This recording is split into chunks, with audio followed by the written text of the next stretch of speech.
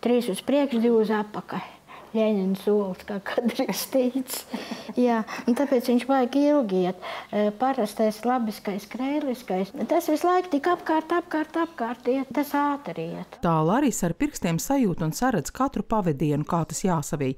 Šoreiz tapojot top šāli pašai, sarkana, jo šī krāsa vislabāk viņai piestāv, atzīst rokdarbniece. Izvēlēts skuiņu raksts un smalka dzija, tāpēc jābūt īpaši uzmanīgam, jo pēc tam kļūdu izlabot ir tikpat kā neiespējami un Lāris šai jomā ir ļoti prasīga. Visam jābūt precīzi.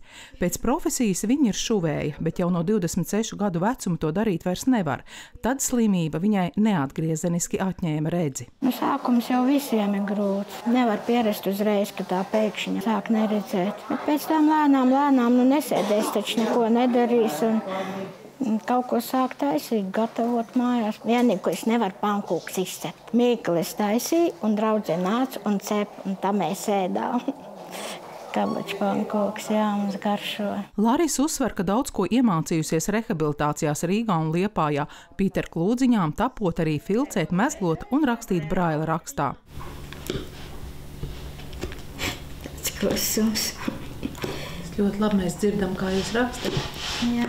Savulaik viņa tajā rakstījusi vēstules, bet šobrīd visbiežāk ēdienu receptes. Jāraksta ir no labās uz kreiso, Bet, kad es izņemšu ārā, tad būs jālasa kā parastais raksts no kreisās uz labo. Uz galda viens aiz otra rindojas Larisas rokdarbi - cepuri, šaulis, čības, klūdziņu pīnumi, bet viens ir īpašs - groziņš sirds formā. Šito groziņu mēs pinām ilglā kopā ar vīru pusi es un pusi viņš.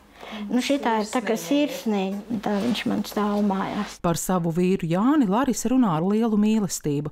Viņi satikās rehabilitācijas centrā Juglā, arī viņš bija neredzīgs. Kopīgs dzīves stāsts satuvinājis. Nu jau pagājuši trīs gadi un četri mēneši, kopš viņš ir aizgājis mūžībā. Viņš visu, ko darīja. Kaimiņi nāca pie mums un prasīja viņam, lai salabo vai nu slēdz, vai nu dušu. Larisas kundze nebeidz vien pateikties visiem, kas viņai ikdienā palīdz. Gan gan ar sadzīviskām lietām, gan radoši pilnveidoties.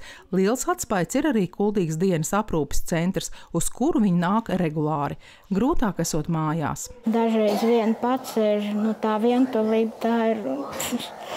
Tad reiz asars no tā tek. Tad visu laiku pa vīri jādomā.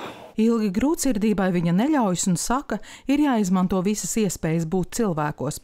Uz dienas centru Larises kundze cienestam atnesus arī pašas cepto kūku.